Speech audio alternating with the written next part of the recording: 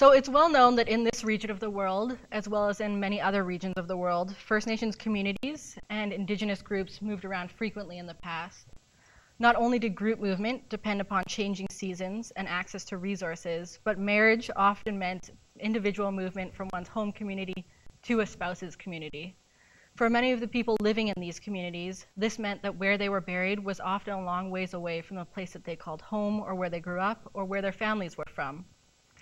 For archaeologists, this poses a unique problem in that it makes returning human remains to their descendants a difficult task. These communities would like to see their ancestors and relatives returned and reburied, but where to rebury them and who to return them to are questions not easily answered.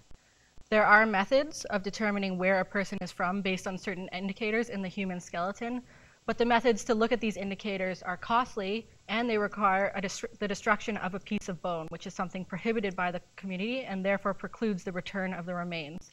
And this is where my research comes in. Portable X-ray fluorescence, also known as PXRF, pictured up on the left there, is a portable and cost-effective tool, but most importantly, it's 100% non-destructive. It's proven itself in the realms of geology and museum studies and can effectively quantify and analyze substances and give us a signature of what types of elements are in the substance and how much of each element.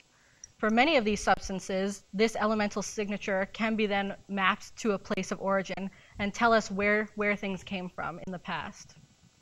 However, this method has yet to be tested on human remains. My research applies PXRF to an assemblage of human remains from Pender Island here in BC. And even though it's in its infancy, it shows that this tool holds great capability as a bioarchaeological analytical tool. I've already been able to identify some of the people within the Pender community who may have suffered from anemia based on low levels of iron, and I hope to see comparable results for other elements and use these, these elements and their amounts to understand where these people came from in BC.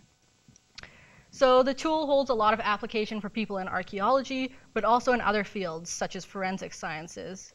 Uh, it's important to communities like those of First Nations who would like to see their ancestors returned, but it also may be important to help solve forensic cases or to help repatriate fallen soldiers. For these people and their families, it's important to have the remains returned and reburied, but it's also important to be able to bring these remains home unharmed and unchanged. Thank you.